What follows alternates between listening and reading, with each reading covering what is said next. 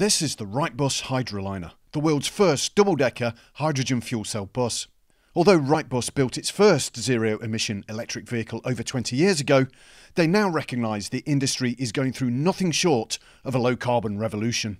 In terms of the industry, the shift from uh, diesel Euro 6 to zero emission hydrogen fuel cell is probably the largest technological shift in the industry um, since we moved from the horse and cart um, to, to the bus. And if we look at 2021, uh, 70% of what we built was diesel. This year, 2022, 70% of what we build will be zero emissions. So that's a sea change in our industry. Wrightbus haven't just taken a diesel bus and adapted it to run on hydrogen, they've redesigned the vehicle from the ground up. The hydroliners are modular, lightweight, highly efficient and are fully integrated and reliable systems. The Advanced Propulsion Centre provided vital funding to this extensive design, test and build process. Creating these lighter structures um, is massively important within the company. We're designing them as light as possible to get better fuel economy, carry more passengers, but we're putting more things on them, so it's a massive challenge. It's critical that we get it right at the beginning of the design phase before anything is built. It's a massive undertaking. It requires a lot of manpower. Um, massive teams have been working on this for months on end, and without that funding, it wouldn't have been possible. The Advanced Propulsion Centre also provided funding to support the development of a single deck hydrogen fuel cell concept demonstrator and test vehicle. Both projects are already delivering a strong return on investment. It allowed us to produce a prototype vehicle a year to a year and a half earlier than we would have been able to done without the funding.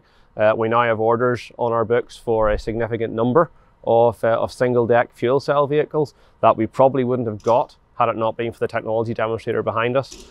It, it's been critical. It's been absolutely critical. We actually, uh, believe it or not, have customers on site today from Germany who are looking at single deck hydrogen buses for Cologne. And we are also looking at projects in Singapore, Malaysia, Hong Kong, and Australia. So this is going to be a growth of export for UK and UK supply chain, all underpinned by APC funding. The UK has some world leading hydrogen technology, but keeping that lead is going to need supportive government policy, investment in infrastructure, and industry confidence to build the scale needed to become globally competitive. I think it's vital. It is absolutely vital that uh, we are ahead of the curve in terms of building up a hydrogen economy. Effectively, the APC partnership is raising both the chicken and the egg in that we're getting the vehicle and we're also developing the uh, refueling uh, ecosystem alongside it as well, which is one of the key challenges within the industry. When it comes to hydrogen, uh, we can lead the world with that, uh, should our strategies and funding models be adapted to suit. Five cities in the British Isles are already operating Wrightbus hydrogen buses.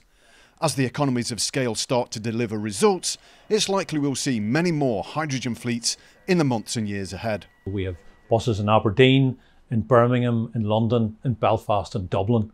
And those buses now have covered more than a million miles and saved 1,600 tonnes of CO2.